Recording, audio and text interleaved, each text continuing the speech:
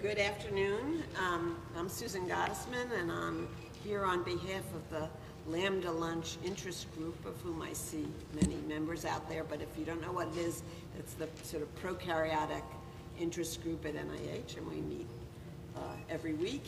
And we, we nominate for Walls, and we're very delighted that, that, that this year um, this Wednesday afternoon lecture is John Michelanos. It's the last one for uh, 2014, so this is a great way to finish up the year. Um, John has been a, a real leader in, uh, in the field of bacterial pathogenesis for, for many years.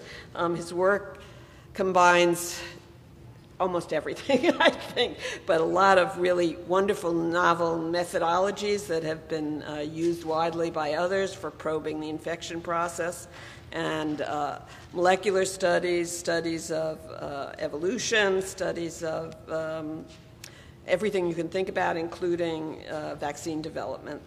Um, and uh, we'll hear today about one, one aspect of that, uh, the, the, understanding of a molecular ma- machine that does some really interesting things. Um, much of his work has been on Vibrio, but that's he also is broad in the in the organisms he's been working on.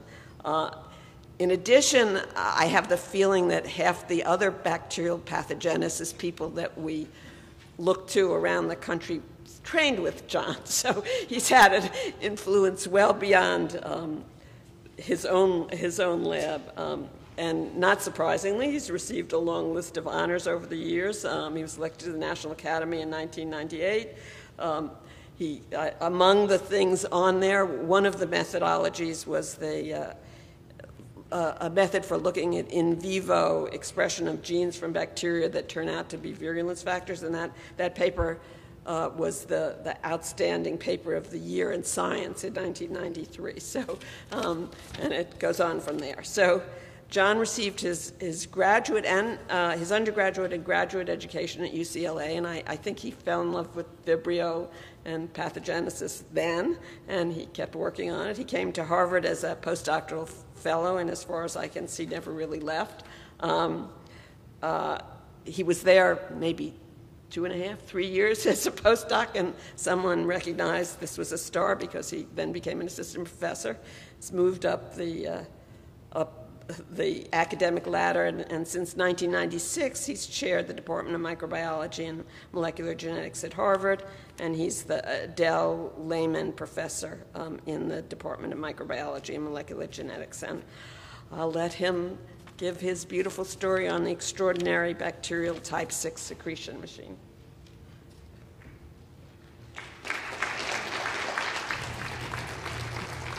Well, Thanks so much for that introduction, Susan, and um, thanks very much for coming to, to hear this story and for the invitation to, to give this uh, prestigious talk. So uh, sometimes when I write a, a title like that, The Extraordinary Bacterial Type 6 Secretion Gene, it, it, occurs to me that this might be sounding a little bit uh, you know, arrogant or overstating what uh, I've come to believe uh, is in fact the case, and that's what I'm going to try to do today is tell you um, a bit about this machine, some historical uh, observations about the machine, put it in the context of maybe evolution a little bit to make that interesting, and then really talk about the mechanics uh, of the machine, which I think really make it um, kind of mind boggling and extraordinary when you think about it. And, uh, and then finish up with a few other observations on what it might all mean in, in nature so uh, I don't think it's a big surprise for this audience to know that uh, protein secretion by particularly gram-negative pathogens is one of the primary virulence properties of these organisms. Many different types of secretion systems have been uh, characterized uh, through the years. I think we're up to type 9 now. But suffice to say that these uh, do anything from secreting proteins to the extracellular milieu, like uh, the type 1 and type 2 secretion systems, to introducing proteins and nucleic acids into target cells, uh, such as the famous type 3 and type 4 systems. Uh, and those, those entry pathways can include the cytosolic membrane or the vacuolar membrane. Um, as we look at this, uh, this history of secretion, we also recognize that these organelles have an evolutionary history to them.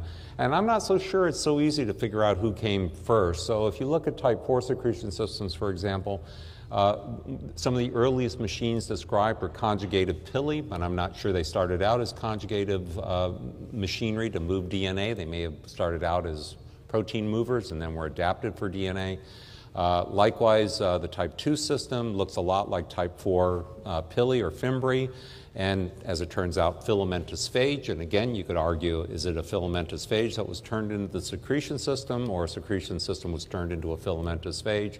And the basal body of flagella looks a lot like uh, the basal body of the type 3 secretion system, and one wonders which one of those came first. So I think uh, we are stuck wondering about this, and I'm not sure there's ever going to be a, a complete resolution uh, to what the, the history of these structures are without um, many more uh, people interested in computational biology and evolutionary history of proteins getting into this field in a big way.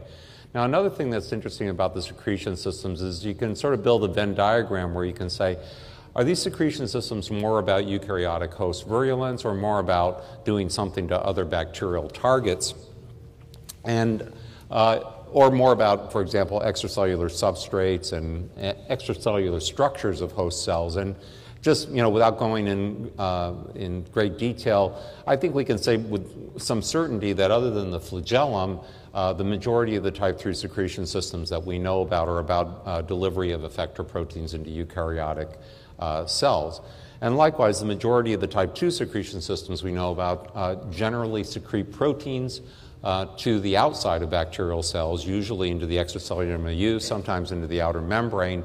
Uh, and some of these proteins that they secrete, like toxins, can be proteins that ultimately have a goal of hitting an intracellular target, but when they do so, they have to carry along with them a receptor binding domain, a translocation domain. The machine itself is incapable of delivering directly proteins into the cytosol of a target cell or into the membrane of a, of a target cell, be it eukaryotic or prokaryotic. So, uh, what I want you to keep that in mind a bit today as we talk about type 6 because type 6 really falls more in this uh, central zone here where both eukaryotic and prokaryotic targets clearly have been part of its uh, evolutionary history and based upon just pure housekeeping i think prokaryotic targets right now seem to be trumping eukaryotic targets for this machine that being said, though, the functionality of the machine really came from the work of Stefan Pitatsky uh, in my lab, at least in terms of the Vibrio cholera functionality and the canonical uh, characteristics of the machine. And he was actually studying uh, Dictyostelium discoidum as a model system. These amoeba eat bacteria. And uh, if you can see this okay, I think uh, you can see that wild type vir uh, virulent uh, Vibrio cholera in this case will form a lawn. And when you put amoeba on that lawn, you don't get holes in the lawn. But he did a screen where he looked for any mutation that would allow amoeba to now grow and form these plaques. And among the various mutations he found were canonical substrates, a class of proteins called VGRGs, and this major secreted protein called HCP. And this really, this work uh, defining the gene cluster and showing that HCP was a secreted protein dependent on, on these uh, factors really got us going uh, in the type 6 field. And, and we recognized something was different about this system right away because some of these VGRG proteins, of which there were three in Vibrio cholera, certainly looked like they were going to be effectors. I'll come back to that in a moment. But one thing that was also strange about them was they were uh, secreted by the secretion machine. If you knocked out, uh, for example, this uh, one of the components of the machine itself, they didn't end up in the supernatant. These are controls uh, for lysis. Uh, but the substrates that got into the supernatant, like HCP and VGRG proteins, here are two examples, were also dependent on VGRG proteins and HCP proteins, if you will, for their secretion. So we had a really weird secretion system that we knew right away was not typical of the normal secretion systems that people study, where the machinery could be easily separated, the machinery's functionality could be easily separated from uh, the effectors, and not, not all effectors were required for secretion in the machine. Luckily, an explanation for that came out later as we started understanding the structure of the machine.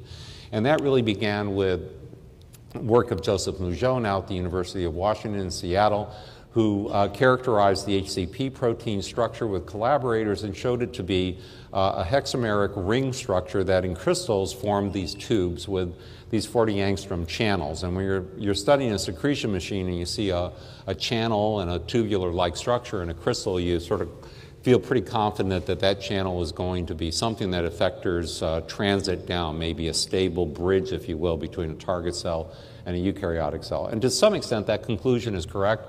Uh, uh, in fact, Joseph has data, which I'll come back to later, uh, to suggest that some effectors are indeed loaded into uh, that central channel. But as to whether they move in the sense of a, uh, of a protein subunit down uh, the tube of a type 3 secretion system or not seems pretty unclear. It seems to be a less stable structure.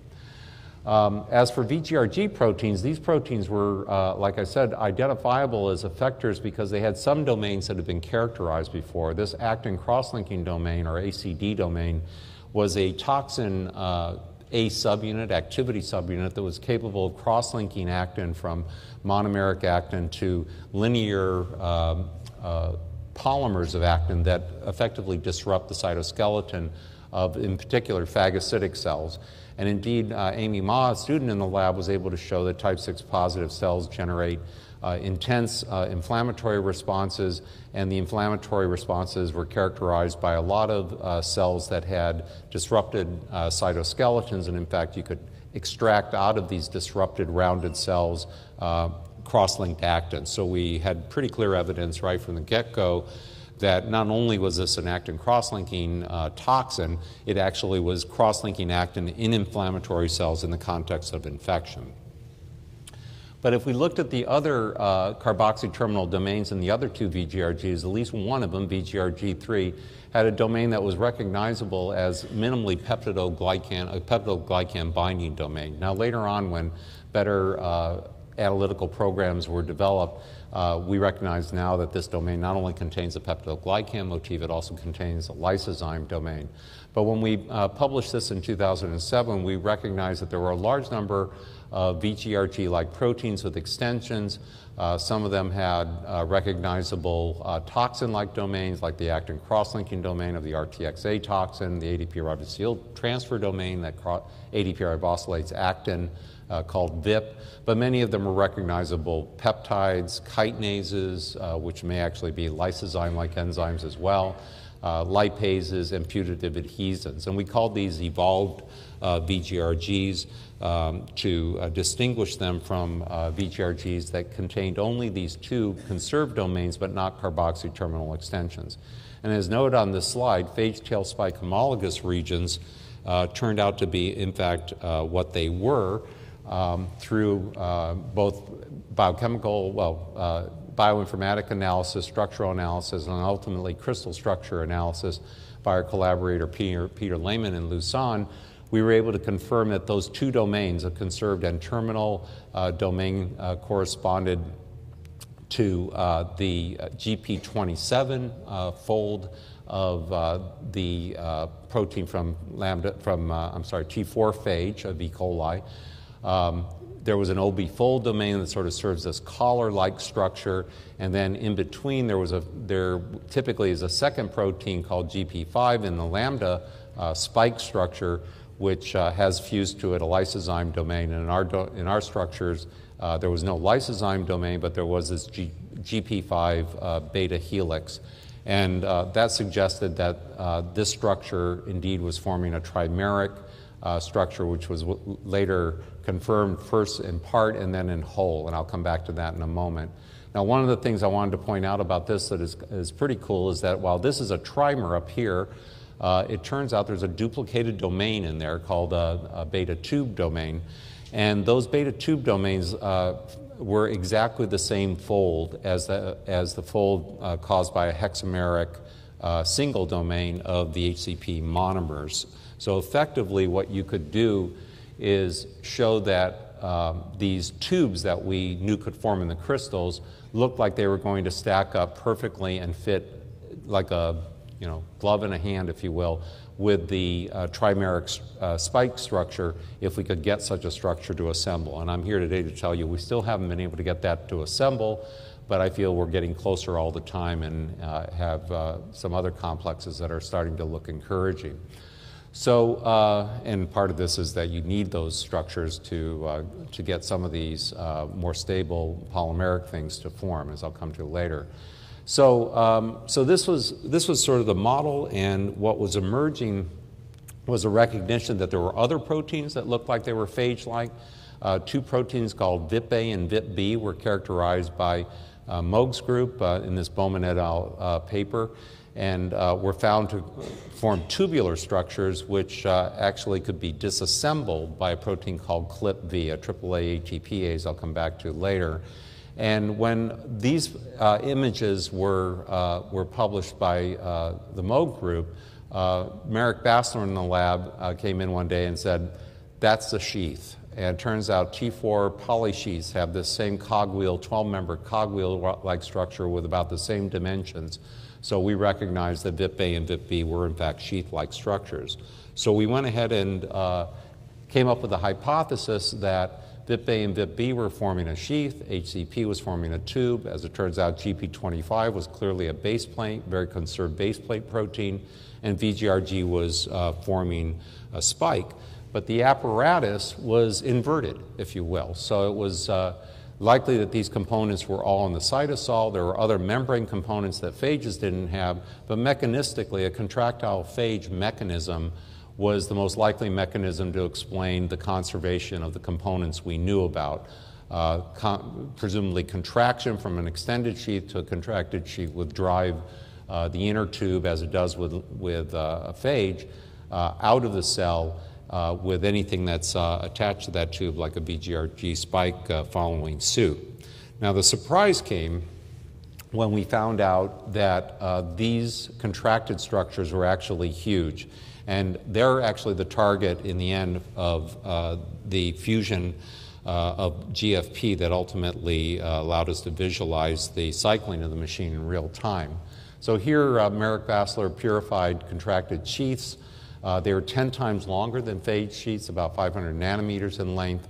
That's big enough that we could see them inside cells. We didn't have to worry about being the size of a pixel. So fluorescent microscopy was possible, and we collaborated with uh, uh, Grant Jensen's group on electron cryotomography. So this is what uh, we were stunned to see when Merrick was able to look at uh, real-time video microscopy, time-lapse video microscopy, in this particular case sped up 50 times. You see these structures uh, build from the side of the cell to the other end of the cell. Uh, typically, uh, the building process takes 20 to 40 seconds. There's a sudden uh, contraction event, right? I think this one will contract for us right about now, if I will, if I remember that one right. No, that one contracted first, and then that one goes. Um, and that contraction event caused the structure to reduce in size about uh, half. And what's amazing about uh, that contraction event is as soon as that contraction occurs, it's quite clear that the structure gets torn apart within uh, 20 or 40 seconds. And usually, uh, rate limiting is how fast that structure gets disassembled for building a new structure somewhere else in the cell, if you look at enough of the images. So, uh, if you look at the contraction event here, right there, this is being shot at 200 frames per second. Literally, that contraction event occurs in one frame, which means in five milliseconds, the structure goes from about a half a micron to uh, a quarter of a micron in size when it's built across the, the length of the cell.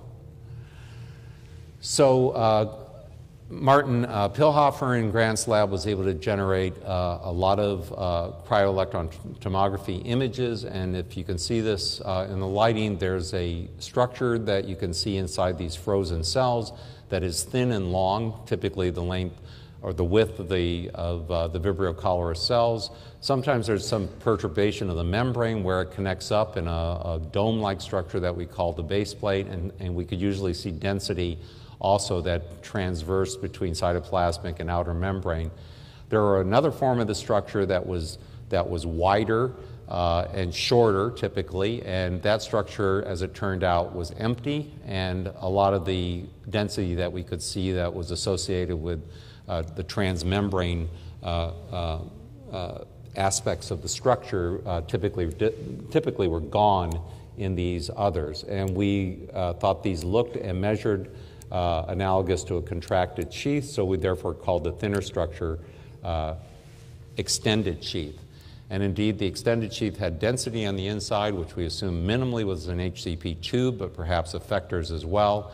And likewise, the contracted sheath was empty on the inside. So, uh, this uh, beautiful animation by Don Casper that we borrowed was uh, able to depict more or less what was known for T4 phage. An extended sheath like structure contracts to about half its size. You lose none of the protein complement of the sheath, it just simply turns and drops in ring by ring to produce these two transitions. It doesn't pump up and down like that, that's just a, that's just a loop. Um, but the amazing thing is that to resolve uh, this structure with that structure, if there are contacts in the inner tube with the outer sheath, and you probably would need those contracts to hold that tube and force it out of the cell during the contraction event or into the cell if you were a phage, uh, it actually turns. And if you watch those, those uh, numbers at the top of the yellow tube, these are turning around. So that's a lot of speculation, but uh, as it turns out, um, as this says, the inner tube would turn 10 times for the length of the type, th- type 6 sheaths, and that calculates out to 120,000 RPM, which is quite a remarkable um, rotational acceleration that occurs within five milliseconds. So this was the model we, uh, we published when we got these images. We imagined that a base plate was the initial uh, building of the apparatus. VGRG spikes may lay the groundwork for uh, building uh, a structure that ultimately allowed the tube uh, to begin being built with HCP uh, hexamers. And ultimately, a high energy state with the VIP-A and VIP-B protein would represent the extended structure. And then a contraction event occurs, and lots of people ask me what triggers the contraction event. In phages, it's, it's a combination of factors tail fiber engagement, base plate engagement.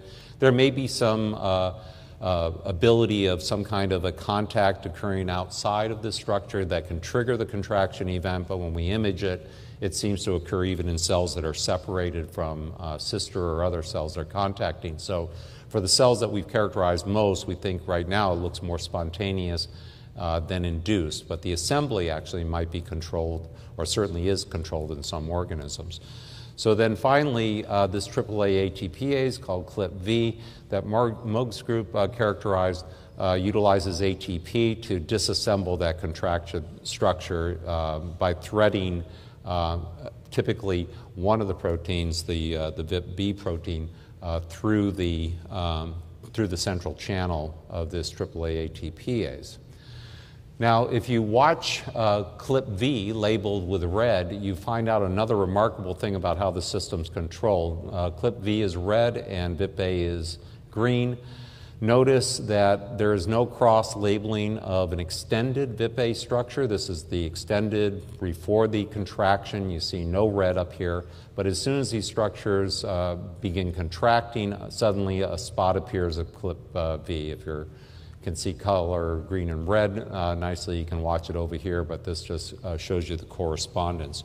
So by doing dual labeling, we're uh, convinced that clip V really could only see the contracted structure and not the extended structure of the apparatus, uh, which is a great strategy for not disassembling the apparatus prior to uh, it actually firing.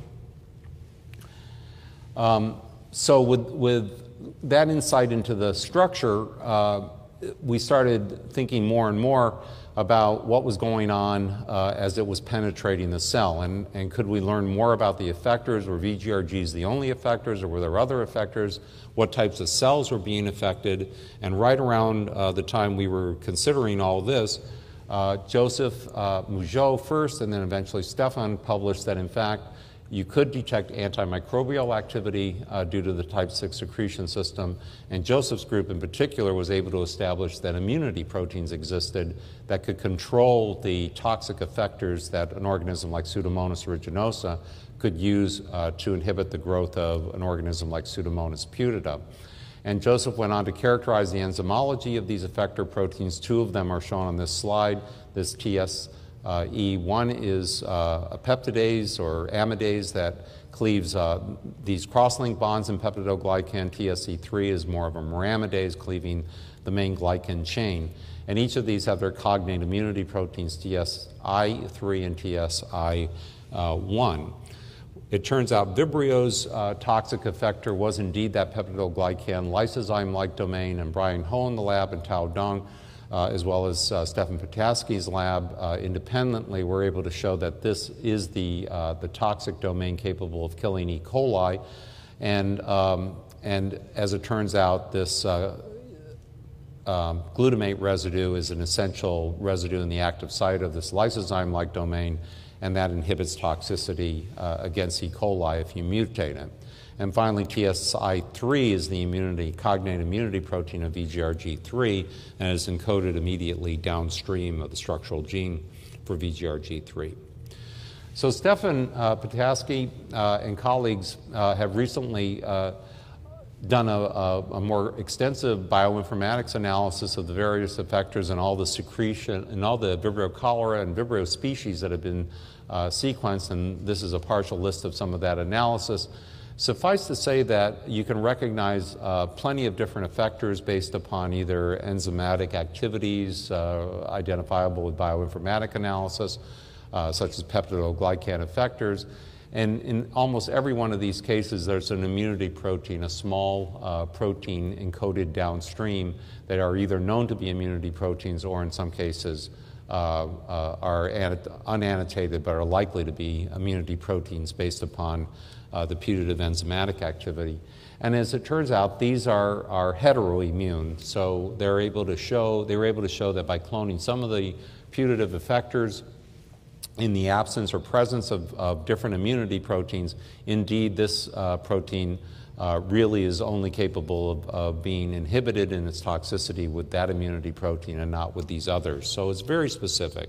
And now uh, a lot of structural biology coming out from all over the world, Joseph Peugeot's lab, uh, several labs in, in uh, China and Korea have also uh, established this paradigm quite clearly that there are multiple different effectors uh, that seem to attack, for example, peptidoglycan at virtually every available linkage. Uh, the small open reading frames downstream from those effectors make proteins that bind uh, very tightly in the active sites of each one of these enzymes, in some cases, even dimerizing uh, these enzymes with a single effector molecule, a single immunity molecule. So I think what's emerging out of this work is that if it's so important to control the uh, activity of these enzymes with these immunity proteins, by and large, most of these effector proteins are really targeting uh, prokaryotic cell, and, and, therefore the producer cell really has to uh, protect itself from the effectors. There are some exceptions to this. Um, VGRG1, for example, doesn't have uh, a cognate immunity protein, and that makes sense because VGRG1 has an actin cross-linking domain and doesn't seem to be capable of crossing, cross-linking any actin-like molecules in prokaryotic cells.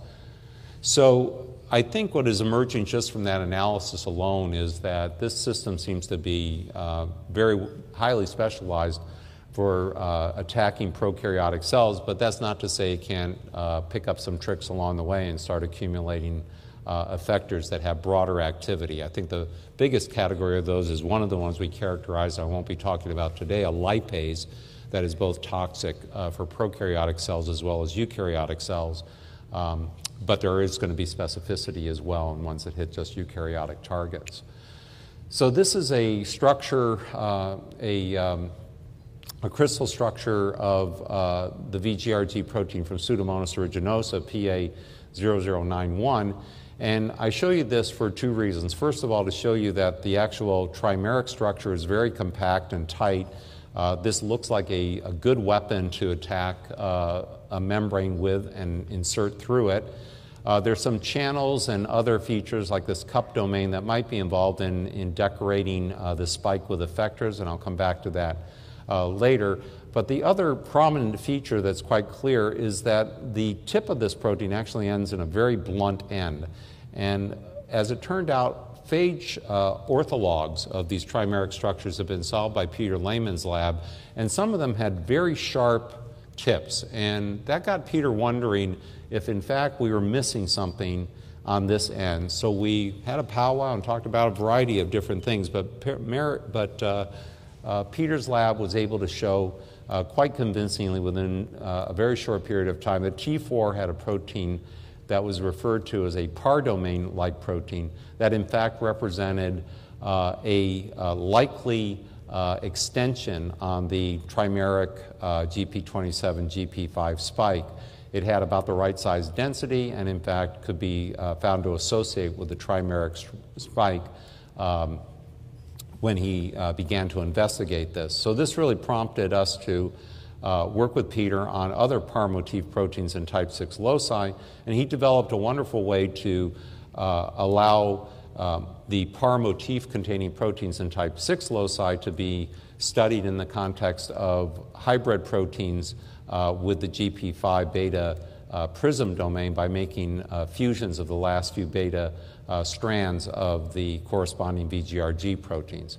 So these structures were solved, and as it turned out, a remarkable structure came out of that. Uh, here's one example. this is a GP5 fused to a VGRG um, uh, of Vibrio cholera. These are the, the last few strands of the beta helix trimer that uh, forms the blunt end of that spike, and it forms specifically uh, an association with a single uh, copy of the protein uh, 0105, a par, one of, uh, of two pars encoded, well, probably three pars really, encoded by the Vibrio cholera genome, but two that we studied in detail so far. And uh, as you can see, it forms this extension that's very sharp. So, again, the already fairly sharp uh, trimeric structure gets uh, further sharpened uh, by these VGRG, um, uh, by these extension proteins on the end of the VGRGs uh, that we call PARs. And we were able to show that, in fact, with um, Acinetobacter, a type 6 secretion positive organism that kills E. coli, here many logs of death of E. coli. Uh, if you knock out type 6, you recover E. coli. In this particular case, you can knock out one par, two pars, but when you knocked out three pars, you lost killing activity of Acinetobacter. And you could complement that triple deletion mutant with a epitope tag version and get back killing activity, so you really only needed one par. And that uh, complementing uh, par could indeed be secreted into the culture supernatant, uh, consistent with the idea that it was decorating uh, the tip of the corresponding uh, VGRG uh, proteins of that organism. It's also important to note that that kind of complementation not only brings back killing activity, it brings back HCP secretion. So everything's consistent with the idea that you need PARs to make this system work very efficiently, uh, whether that's assembly of the apparatus or whether that's really the functionality of that sharp uh, structure at the tip uh, really hasn't been resolved yet because we haven't been able to um, make mutations that um, allow us to do that yet although it may be possible. So the repeated PAR sequence, proline, alanine, alanine, arginine, is three times repeated, and that's actually what builds this conical-like structure, uh, a unique fold that represent these conical extensions. And the other things that the type 6 uh, uh, PAR proteins all have is a zinc atom uh, that is uh, embedded near the sharp uh, end of the, of the structure. And um, while zinc, you know, may be there for uh, hardening or stabilizing the structure, certainly stabilizes the structure. We like to think of this as being sort of a metal hardened tip, if you will, and there may even be possible that uh, that zinc plays some role uh, as a uh, as a oxidizing uh, metal uh, in the function of the apparatus as well. We're trying to understand more about that. Um, but the other thing I wanted to point out is that the carboxy and amino termini of PAR proteins extend and are disordered in these structures, suggesting that these extend away from the fold and could possibly point out into the medium. And this was interesting because uh, Brian Ho in the lab was able to do uh, this uh, bioinformatics analysis and say, what, once we define what a par is, where are they out there? And it turns out there's a large number of them that just look like a par domain, as best we can tell. But there's a larger number of them that have extension domains. And those extension domains can be large and they can be on the carboxy terminus, they can be on the amino terminus, they can be both carboxy and amino terminus. And another feature that a lot of them have is this RHS domain. And notice we never see a PAR that has an RHS domain without an extension domain. And that becomes important as well in a moment, as I'll, I'll tell you more about. So uh, these RHS domains have been found in toxins before, and most recently, Lott had actually solved the structure of an insect toxin that suggested RHS domains form a beta structure that are, are, is analogous to a cage. Uh, we didn't know that this would be the case for, for VGRG uh, or, that carried RHS domains and extensions or PARs that carried these domains, but we found these on enough things that we knew were effectors that we, we had that in mind as a model for how this would work. So this is again an unpublished structure that uh, Peter's lab has generated recently of an RHS domain that shows in fact they do indeed form these beta cages. Uh, this is what it looks like looking on the side, and then if you cut straight through the middle of the cage, you see there's a central cavity inside that cage that is big enough to uh, carry a folded uh, 25 or 30 kilodalton protein. Uh, and that, that largely corresponds roughly to the size of the effector domains that are typically uh, found fused to the RHS domains. So if you go back to PARs and RHSs, you find that uh, the domains that you see as extension domains fall into many categories that are clearly uh, effector-like. A large number of them are identifiable nucleases, both RNA nucleases as well as DNA nucleases uh, peptidases, lipases, amidases, and deamidases, lysozyme-like domains, uh, and a few things that look like eukaryotic toxins.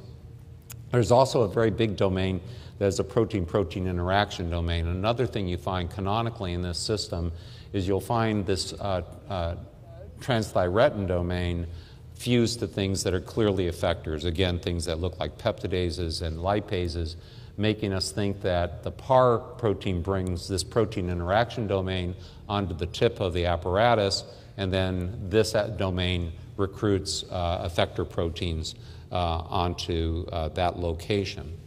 And here's one example of uh, some work uh, coming out of Hayes's lab in collaboration with David Lowe's lab, where they characterized an RHS protein of this organism, uh, Dictea uh, dante, and what this particular effector looks like is one of those canonical ones. It's got a PAR domain, it's got an RHS domain, it's got a nuclease domain, and in this paper uh, last year they were able to show that if you mark uh, target cells with GFP, so they're green, and you ask whether there's DNA inside them using DAPI, you can show that dependent on this effector, you get degradation of the, of the nucleoid uh, in those target cells. Uh, somewhat consistent, although the time frame is, is pretty long as you see here, uh, but somewhat consistent with the idea that indeed this nuclease domain uh, is likely to be wrapped up in a RHS cage and is decorating a VGRG uh, spike. And more recently, they've actually shown that the delivery of this nuclease domain is indeed dependent on a VGRG, uh, suggesting that uh, a complex likely will be able to be formed between that PAR domain and the dependent VGRG. So, what's emerging from this, uh, this story then is the fact that the machine builds a, a spike that's very much like a T4 uh, tail spike, whereas uh, T4 has lysozyme domains that are fused to the GP5 domain. It may be that these domains are contributed uh, by extension domains of the carboxy terminal end of VGRG proteins. Uh, the PAR uh, structure is further a means of decorating either with caged RG, uh, RHS uh, effectors or other types of effector domains that don't need to be caged but may be controlled by immunity proteins that may be in complex with this structure and perhaps get stripped off uh, at a later date. So, this is really our model for that spike being decorated by multiple different effectors. It reminds me a bit of this uh, multiple independent reentry vehicle concept of ballistic missiles, the MIRVs. So we've called it the multiple effector translocation VGRG model to again illustrate that in a single contraction translocation event, it may be possible to deliver multiple different effectors by decorating a warhead, if you will, at the top of the HCP tube with multiple effectors. And this, uh, this just shows you where there's strong evidence of, in fact, these uh, effector proteins being delivered by this mechanism.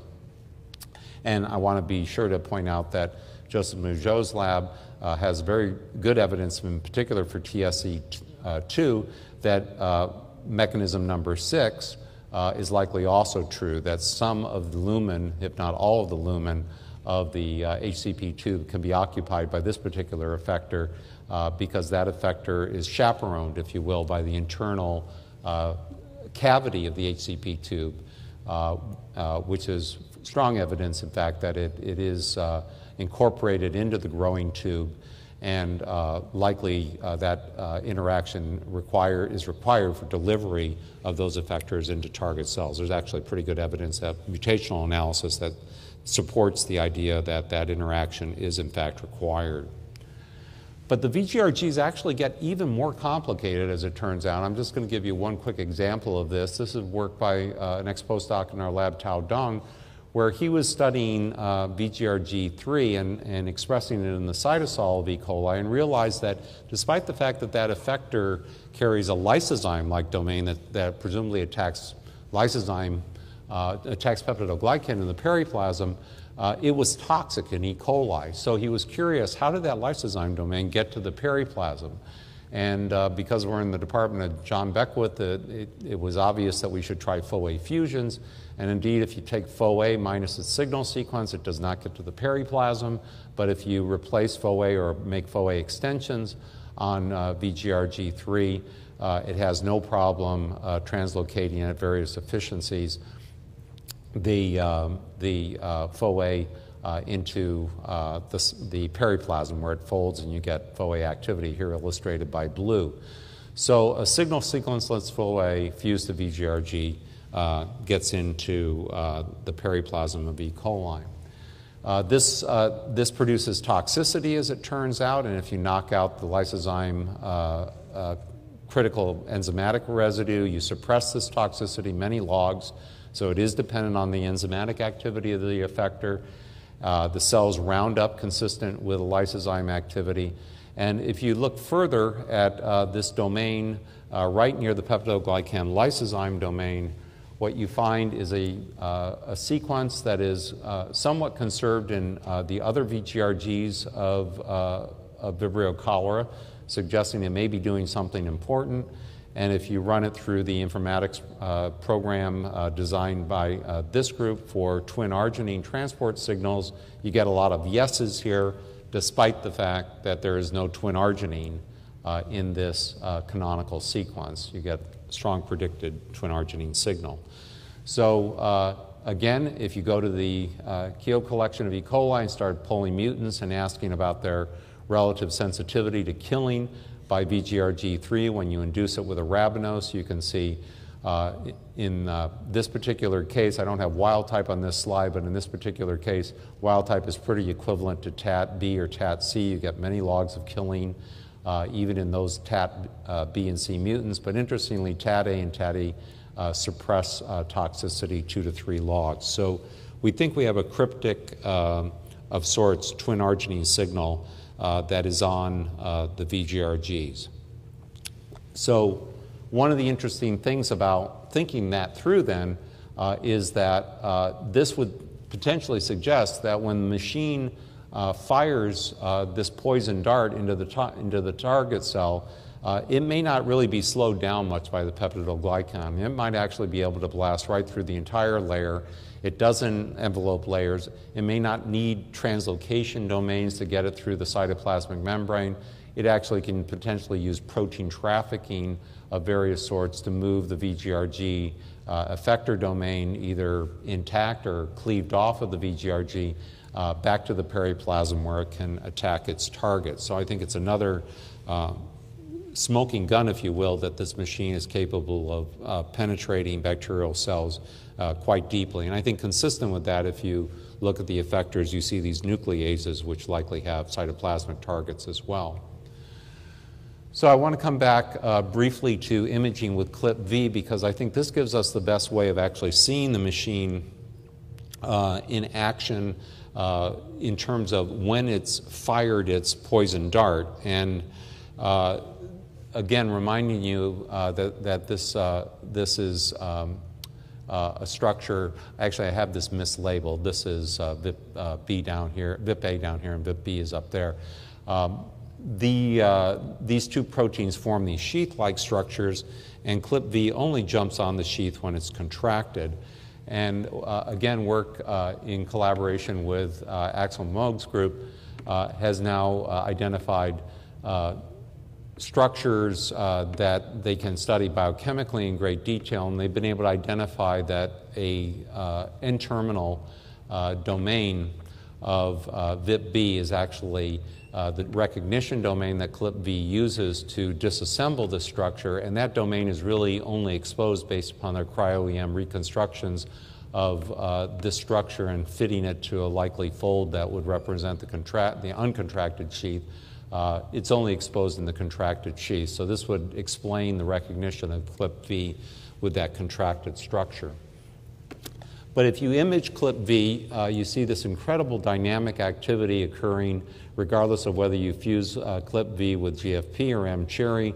There's plenty of dynamic activity. If you knock out VIP-A, you just get random uh, uh, staining of the cytosol. So what you're imaging then is you're imaging the post-contraction events within probably less than 10 seconds uh, of a contraction event, you'll get a bright spot.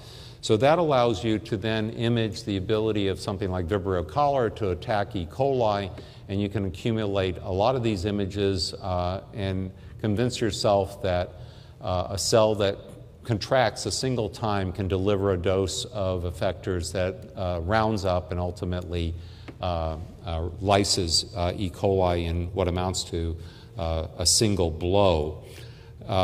so that video didn't run, but I'll show you this one. Uh, this is, uh, these are three frames. You can see 60 seconds, 90 seconds, and 120 seconds. And in this particular case, this dark cell is E. coli. That bright spot there represents the only contraction that occurred anywhere near this E. coli. And that contraction uh, represents uh, within 10 seconds of the apparatus firing. You can see 30 seconds later, the E. coli starts looking different, somewhat more bulbous and then uh, there's a sudden uh, rounding of the E. coli, and actually you can see some debris that corresponds exactly to where that particular firing event occurred, suggesting that there's been some disruption, maybe mixing of the outer membrane of, of E. coli, of Vibrio cholera with the outer leaflets of uh, the E. coli. But I think this sort of correspondence of debris and the firing and the lysis all suggests that uh, a blow uh, in the range of about a minute is all it takes. One blow in about a minute is all it takes to um, basically uh, round up and, and lysin E. coli. So the apparatus is extraordinarily efficient. And I think you're going to see that again and somewhat sped up in real time right here. There's the shot and there's the lysis. So that's, that's at, uh, I think, 30 times uh, speed. So does that occur in vivo during uh, a host infection? Well, as I was telling uh, students and postdocs that met with me at lunch today, everybody always asks this question. This must be about uh, beating up on the normal flora, the commensals that are in the hosts. Uh, do you have evidence for that? Well, unfortunately, I have to tell you, I don't have evidence that in vivo type 6 is active and kills a heterologous organism. But what I do have is uh, the data of uh, Fu Yang in the lab, and uh, Yang was able to uh, show using a TN-seq analysis that uh, type 6 uh, attack actually occurs in vivo by looking at the result of sister cell analysis. So, make a long story short, if you have lots of TN insertions in a population of bacteria, you can move them through a host like an infant rabbit, and then you can measure the abundance of particular insertions. Many insertions don't cause any effect, like the black uh, cells. Some of them have a profound colonization defect, like the green cells, and some of them are virtually colonization defective, uh, like the red cells. But you also have some cells like these gray cells that are a minority in the input population but become a majority in the output population. Anyway, I'm not going to talk about uh, that latter case today. They represent these chemotaxis and other uh, interesting uh, targets of small RNAs that are involved in uh, hypercolonization phenotypes. But what I do want to point out is that uh, Yang was able to show that one of the genes in this cluster here, usually I have it labeled TSIV3, was the immunity protein for VGRG3. So this was weird because he did this analysis without going after uh, type 6. Uh, and this particular strain he used doesn't even kill E. coli. It has a type 6 gene cluster, but it's not expressed in vitro. But it, it, it, screamed out at us that maybe that immunity protein was defective, so we did the competition experiments, and here's the result. If you mix wild type with a LAC-Z mutant, they compete with each other one on one in this rabbit model. If you knock out uh, the immunity protein, you get about a two log defect in the immunity mutant. If you knock out the uh, type 6 system in the competing strain, you complement some of that, but not all of it. But if you knock out type 6 in both the competing strain and the wild type uh, immunity mu- mutant, um, you fully uh, complement it back to one on one competition. So uh, we take this as very strong evidence that type 6 is active. It's required for this colonization defect in the immunity mutant. And this uh, indeed suggests that uh, sister cells uh, are attacking sister cells in vivo and that the, and the apparatus is turned on in vivo. Well, I'm not going to show you the data, but we now have clear transcriptional data in the animal model that type 6 is indeed turned on.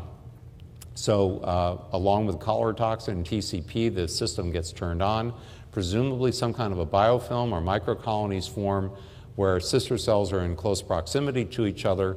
And if one of those sister cells lacks the immunity protein to this particular effector, they're going to get nailed uh, by their other sisters and get lysed, and that would explain uh, the profound colonization defect is that those cells do not like cheaters, where a cheater is defined as a cell that is, uh, is catching a free ride and not uh, expressing an immunity protein.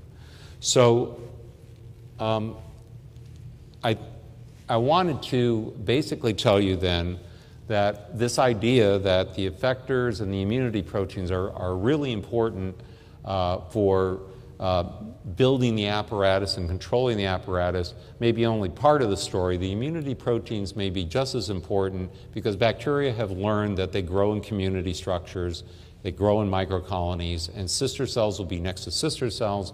And if they're going to attack heterologous organisms, they have to have immunity proteins to their own effectors. So they be more about uh, heterologous attack between cells or, or attack between sister cells in a biofilm than simply protecting uh, the cell that produces the apparatus uh, from the effectors while it's trying to assemble the apparatus. That job may be more important uh, for things like the caged effectors, um, where the enzymatic activity of the effector can be controlled during the assembly, but then you still have to have an immunity protein because once it's blasted across into a sister cell, that caged molecule somehow or another is programmed to fall apart maybe under the influence of, uh, of other uh, AAA ATPases that might disassemble it. So uh, finally, I just want to make uh, the final transition to the last topic, and that is do target cells uh, respond to type 6 attack? Now, this is fairly controversial for uh, the microbiology people uh, in the audience. I apologize that I won't be able to spend too much time on this. But this is one of the surprises we got from uh, this study. What we did was uh, transcriptionally profile the transcriptional response of E. coli to being exposed to Vibrio cholera type 6 positive. And of course, the control here is you compare it to a, uh, an isogenic Vibrio cholera that's type 6 negative. And as it turns out, we've also looked at its effect, various effectors as well.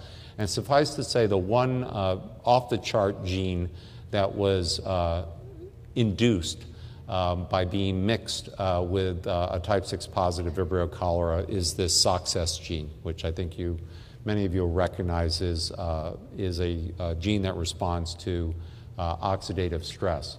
I'm sorry if the lights uh, make this difficult to see, but this is again showing you a SOX GFP reporter. You can see there's a large number of E. coli cells here that are green. If you knock out one of the uh, structural components of the apparatus, very few, one or two here or there, but quantitating this, uh, many times we've uh, convinced ourselves that if this is an indication of ROS stress, induction of this gene, it indeed uh, is induced about 15 fold by being mixed with a type C positive organism. And then, because this is such a phage like structure, we ask the question you know, do, is this possible that this is uh, true for phages as well?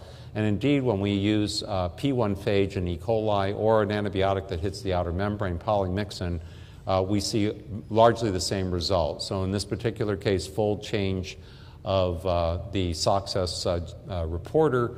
Um, in this case, I think this is actually um, RNA being measured. Strong induction, about 15 fold. You can also use fluorescence reporters here when you mix it with P1 Vir. The whole field becomes bright brightly uh, fluorescent. Here's the control with no phage. And, and if you mix it with polymyxin, again, you get uh, induction. And if you go with fluorescent dyes and measure directly uh, reactive oxygen, you get strong induction with uh, these agents uh, and far less with uh, untreated or other types of controls. So I think a take home lesson here, whether we like it or not, and I'm not that happy with this result, is that the attack of the type 6 apparatus, perhaps phage, is able to perturb something in the envelope that ultimately can generate ROS. It oxidizes SOXR. SOXR activates the transcription of SOXS. And to some extent, you get a redox stress response. Now, the obvious question is does this have any consequence uh, for the survival? I'm not sure. I don't think I have that slide in, but we've, we've gone and asked that question by using uh, heterologous expression of SOXS. And we get about a tenfold better survival of E. coli uh, when mixed with Vibrio cholera if we overexpress TOXS uh, in the population. So if you pre activate the downstream genes, you get some resistance. You still get logs of killing, but there are multiple effectors that Vibrio cholera is delivering, and I'm not sure uh, what stress response genes might protect but they're clearly seeing some ROS and that being responsible for some of the killing associated with type 6. So hard to know, but there's been some uh, speculation in the field that many different antibiotics and chemical compounds and host immune proteins such as uh, uh, perforin and, and, uh, and complement components uh, can generate ROS when you measure it. So it may be that a lot of things that disrupt the envelope of gram-negative cells can generate uh, an oxygen stress response. And by the way, it's not hydrogen peroxide in case anybody was curious about that. Does, there's no evidence that uh, OxyR is induced by these systems. Uh, now, Pseudomonas aeruginosa also responds uh, to, to the attack, and as it turns out, uh, this is manifested by this amazing sister cell sister cell activity where one uh, cell uh, spontaneously fires the apparatus, and immediately a second cell nearby the point of attack uh, of the apparatus uh, responds with a counterattack. Uh, again, work first observed and, and, published by Merrick Bassler in the lab. This is clip V, so you're seeing the a few seconds after the apparatus presumably fired. You see these counterattacks within seconds by sister cells at exactly that anatomical site.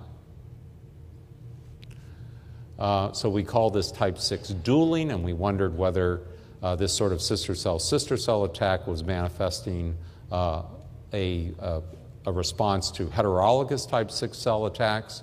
And to make a long story short, that turned out to be the case. If we mix Vibrio cholera, here red, with Pseudomonas aeruginosa, here green, you can see the red cells dominate. The, the Pseudomonas occasionally have sister cell sister cell attacks going on but by and large, the Vibrios are not affected by being together with the Pseudomonas. But if you now use a Vibrio cholera that's not negative, you use one that is positive for type 6, now Pseudomonas aeruginosa aggressively attacks the Vibrio cholera. They start rounding up, and wherever you see the arrows, they're, they're lysing. And within a relatively short period of time, Pseudomonas aeruginosa dominates. So we've characterized this system. This is really the work of several people in the field defining the various components, but for the sake of brevity today, Um, this signal transduction system, which includes an outer membrane lipoprotein, a periplasmic protein that associates with it, and some inner membrane proteins that ultimately uh, activate a kinase, uh, is thought to trigger phosphorylation of a protein called FHA, which drives assembly of the apparatus. And then a phosphatase called PPPA that Joseph Mageau characterized in the lab takes off that phosphate group, and that presumably inactivates the apparatus. If you now reanalyze these components in light of uh, the sister cell dualing and the other uh, phenomenon that I'm talking about, basically, if you knock out the kinase, you never assemble the apparatus, everything just stays green. You knock out these intermembrane components that activate the kinase, you still assemble the apparatus spontaneously, but it, um, you get no sister cell dueling, so no response to the apparatus. If you knock out the phosphatase, you get activity of the apparatus in all the cells, but there effectively is no dueling response. So there's nothing wrong with building the apparatus if you, uh, you get a phosphorylated FHA, you actually accumulate lots of apparati, and they stay pretty much focused where they were initially built, uh, but you don't get dualing responses. And finally, if you mix it together with a heterologous target that's type 6 positive, when you do all the controls of type 6 negative targets or these uh, sensory, uh, the sensory systems, the tag system or the kinases or the FHAs, you see that you get about two logs more efficient killing of a type 6 positive target if this sensory response uh, is completely intact. So we called this the tit for tat model um, because uh, basically Pseudomonas will coexist with an organism if it doesn't attack it. But uh, if it senses attack, it quickly uh, has all the components already pre-synthesized. It, it understands where the attack has occurred through that signal transduction machinery I just described. It builds a counterattack and quickly attacks rapidly multiple times uh, at the location of the initial attack. And this leads to very efficient killing of the, the aggressive uh, attacking cell. And then something, presumably the loss of any further attacks of this sort, uh, ultimately leads to disassembly of the apparatus using the CLIP-V uh, cycle. And as it turns out, this ability to sense attack goes beyond type 6. Uh, very briefly, conjugation works as well. The type 4 secretion system, which mediates conjugation, uh, also is detected by the type 6 uh, system, so that you get uh, really three logs more killing of E. coli if it carries a conjugated plasmid like RP4 or this plasmid KM101. Um, that, that killing activity is totally dependent on type 6. So, again, just the mere act of trying to form a conjugation bridge using a type 4 apparatus uh, is sensed by Pseudomonas and it counterattacks uh, the organism trying to do that. And uh, indeed, when you do the genetic analysis of this, uh, it turns out that the sex pilus, mating pair formation, or any component in the type 4 secretion system is required for that counterattack. You do not need DNA transfer in this case. You can knock out the relaxase or the coupling protein TRATI. In fact, when you knock out DNA transfer, they are hypersensitive to getting killed uh, by type 6 of Pseudomonas, still dependent, though, on these other components. So I think uh, the, the mating pair formation, the bridge, if you will, between a mating cell and a, and a target cell is actually made more efficiently if it's not slowed down by engaging uh, the DNA transfer machinery. So we call this transfer associated patterns to try to make an analogy to a bacterial innate immune system. Uh, it's conceivable that this is there to block uh, transfer of uh, parasitic elements like plasmids, perhaps even phages under the right conditions. Um, but uh, you know, showing that was key, and we were able to show about a 12-fold reduction in plasmid transfer into Pseudomonas aeruginosa if this system is entirely intact uh, and functional. So it may actually be an immunity system for infection with these, uh, with these, uh, with the elements. So again, you might ask the question, what's the tap signal? What's the type 6 triggering signal? I think I've gone over all these. Uh, we think it's an outer membrane perturbation simply because polymyxin B induces a dramatic activation of the system. I'll fire this. This is as fast as we can get cells down on an agar pad with polymyxin. Whoops, I'm sorry. You can see this sweep of type 6 activity that goes through the population. Every Pseudomonas aeruginosa fires up and then calms down, primarily because I think ATP is depleted in the cell and polymyxin is toxic for uh, Pseudomonas aeruginosa. So if you temporally code this with color, you can see uh, as fast as we can add the cells uh, to the agar pad, you get this burst of type 6 activity and then a calming down over the next few seconds. It takes about 60 seconds to get maximum activity in the population, and by comparison, wild type cells without polymyxin, only the occasional cell has activity, and it's usually associated with pairs of cells that are dueling, as it turns out. So, once again, we know uh, that type 4, type 6, polymyxin all work through this system.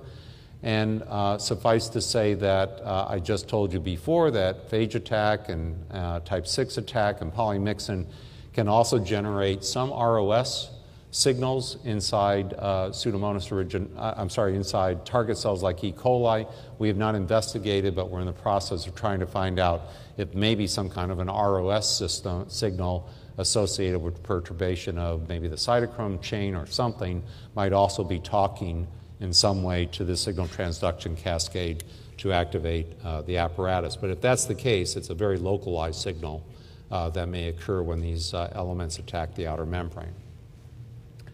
So, finally, a few uh, last conclusions. I think um, uh, it's fair to say that we know that type 6 gene clusters in Pseudomonas aeruginosa are, are strongly induced uh, in human cystic fibrosis lung.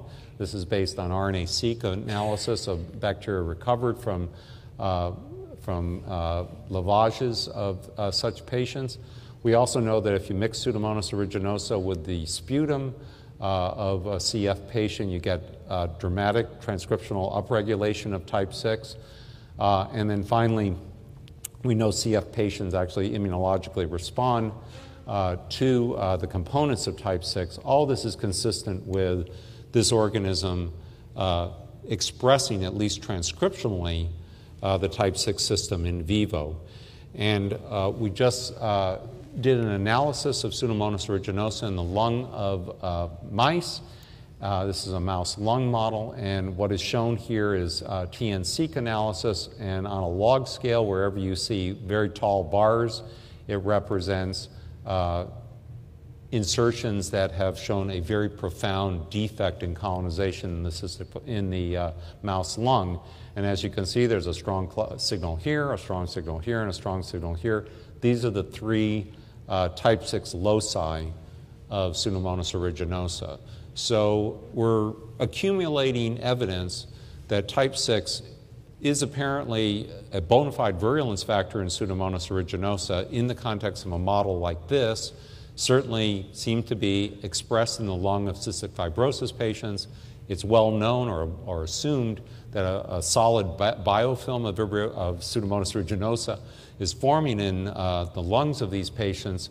So, whether this represents um, signaling uh, associated with sister cell sister cells or uh, components that disrupt the outer membrane of Pseudomonas that are host factors like defensins or uh, cryptins or other uh, oxidative uh, products of inflammatory cells, it's all open.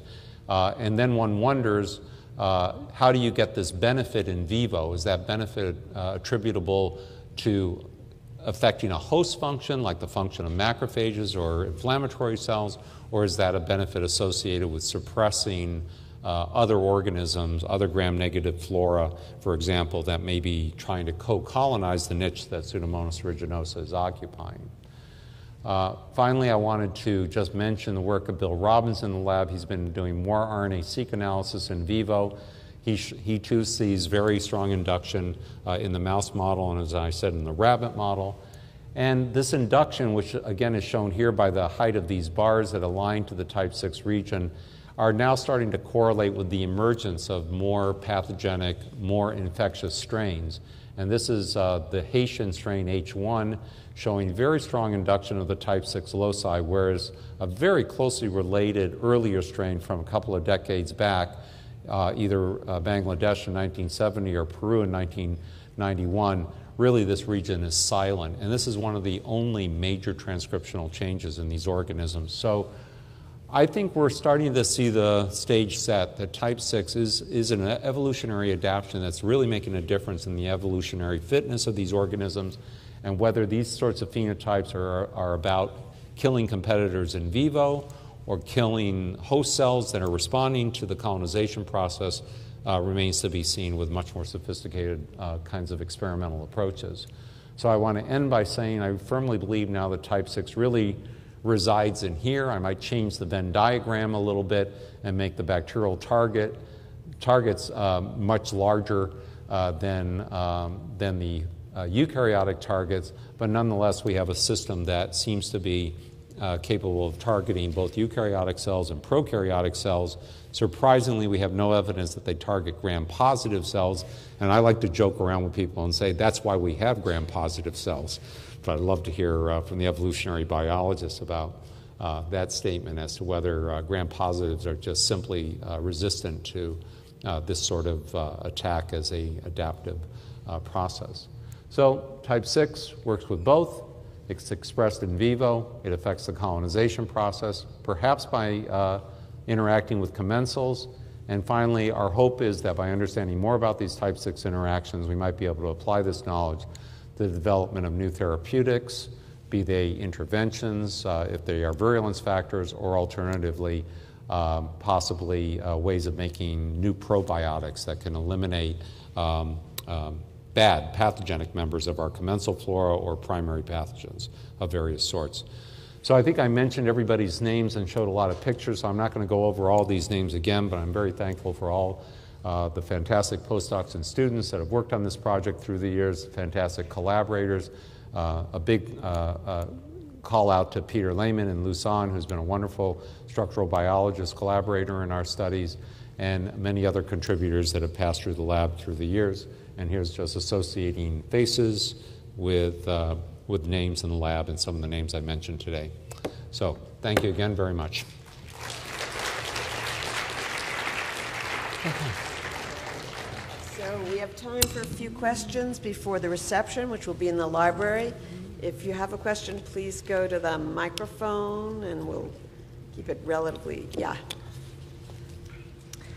Hi, yeah, I was wondering if um, you had looked at the transcriptional activation of a cell that received a type 6 attack but was able to survive, like these sister sister um, pairings. It just, when yeah. you when you presented the data, it looked a lot like all of these different quorum sensing systems at the same time that you know perhaps these cells are interacting with each other on very close like are you my neighbor? Are you like me? Yeah. kind of system. So that's a that's a really uh, great question and we've had some difficulty in sort of addressing it at the level that i think you would find you know the answer satisfying. The way we've tried to do it is we've tried to um, play games with transcriptionally profiling at least uh, cells that either had an active type 6 secretion system and had the immunity proteins for it, or ones that didn't. And these are cells that are both uh, recovered from broth culture as well as cells that have been interacting with each other on an agar plate to see if we see any differences. And the remarkable thing that you see is very few differences but they do respond, and they respond in, in, in, a couple of interesting ways. One thing that you do see is you see, in general, the steady state level of envelope stress responses is up if you have an active type 6. If you hyperactivate it, for example, by using the phosphatase mutant, it's way up. So I think, I think that probably could be a signal uh, from the producer cell, just the act of building the apparatus and firing it through the cell walls, producing envelope stress, but we can't completely satisfactorily uh, differentiate it from the possibility that that's a response of a sister cell under attack by an adjacent aggressive sister. It's still tricky. Once you start playing around with immunity proteins, though, all bets are off and you start getting uh, all kinds of other stress responses that are probably associated with the effect of the effectors. The other thing that we've seen is, um, is a strong derepression of the effectors themselves. So that, that is a weird phenomenon that's different for different organisms. So, for example, in Pseudomonas, uh, let's, let's go with Vibrio cholera.